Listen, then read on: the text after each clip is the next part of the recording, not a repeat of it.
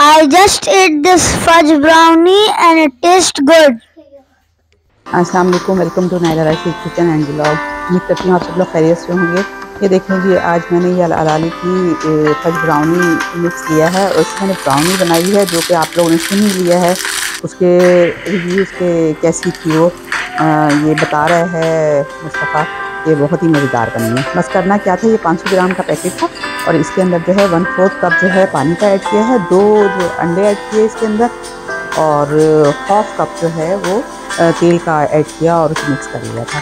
और बस ग्रीस किया बटर पेपर लगाया और उसके अंदर जो है ये मिक्सचर मैंने डाल दिया था और 180 सेंटीग्रेड पे इसको जो है 30 मिनट के लिए बेक कर दिया था, पाँच मिनट और दे दिए थे ऊपर तो बहुत ही मज़ेदार सी ब्राउनी जो है वो तैयार होगी। क्या तो ज़रूर ट्राई कर, इस ब्राउनी की प्राइस भी कोई ज़्यादा नहीं है। तो ज़रूर ट्राई कीजिएगा। मैं इंशाल्लाह फिर किसी नई रेसिपी के साथ आऊँगी।